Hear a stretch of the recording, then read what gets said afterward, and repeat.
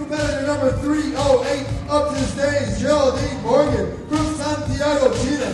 She's 32 years of age and 140 pounds. Put your hands for Geraldine Morgan.